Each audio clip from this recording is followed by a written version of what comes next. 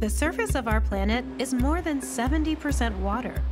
This liquid network of streams and rivers, lakes and oceans makes up the vast majority of livable space for countless creatures in our wild kingdom.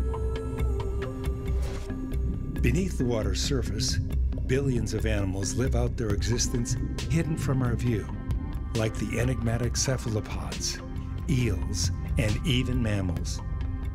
Today, we're highlighting a few of our favorite aquatic creatures and the dedicated conservationists fighting to protect them. I'm in suburban Atlanta, and I'm here to learn about the conservation of one of Georgia's rarest reptiles, the Suwannee alligator snapping turtle. We're gonna go over here. But first, wildlife educator Christian Cave and U.S. Fish and Wildlife consultant Greg Brashear have a surprise in store for me. Ready? Okay, I think Oh, he's so. gonna be a little bit of a fight. Oh my! Wait, wait! Whoa! Whoa! you are kidding me! This is an alligator snapping turtle. This is wild. You're special. What's his name? That's Al, Big Al. Big Al. yeah, that's fitting. We're in Greg's elaborate backyard turtle sanctuary, which houses over 200 rescued turtles. Some of them are the most endangered turtles in the world. I am a lifelong turtle nerd, and I do work with the U.S. Fish and Wildlife Service. I've been into turtles since forever. There's just something about them I've always been drawn to. The wild Suwannee River, which flows from the Okefenokee Swamp in southern Georgia to the Gulf of Mexico in Florida, is the only place on Earth to find the T Rex of turtles, the gargantuan, prehistoric Suwannee alligator snapping turtle. Biologists Chris Coppola and Dirk Stevenson and consultant Greg Brashear are in year three of a fish and wildlife recapture project to study this threatened species.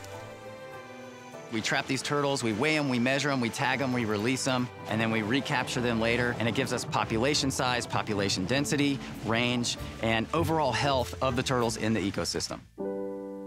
What makes this conservation work so important are the threats this turtle species has faced. Historically, North American turtles were severely reduced by the turtle soup industry. Up until the 1970s, teams were pulling tons of turtles out of rivers like this one every day. The Suwannee alligator snapping turtle was just listed by the U.S. Fish and Wildlife Service as a threatened species. This is important because this is a species that's slow to mature.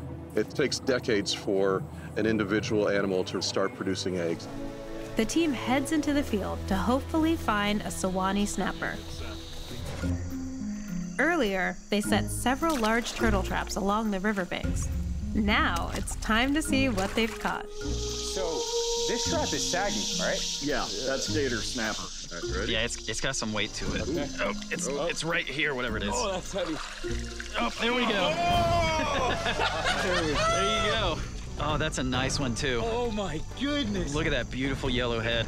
Let's haul Yeah. him to the bank for processing. Absolutely. Yeah, look at that. What a beautiful animal. Power- Powerful jaws. Let's get some measurements and find out exactly how big this guy is. Watch yourself. Yep. I think we're over 60 pounds. Over 60? Yeah. that is a classic male Suwannee alligator snapping turtle.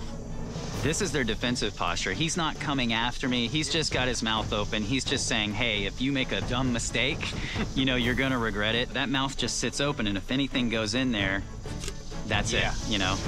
Like a big nutcracker. We can set him down and start working on him. 390.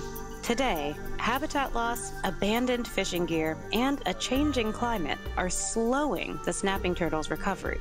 But thanks to projects like this one, there's hope they can be eventually removed from the endangered species list. One, two, three. Oh, that's a heavy turtle. 75.8. So It's bending. I think we were all wrong. Suwannee snapper weight correlates to age, which means this turtle could be over 70 years old. Oh, goodness gracious, guys. I gotta tell you what, they're completely deserving of all the respect we give the alligator snapping turtle, North America's largest freshwater turtle species.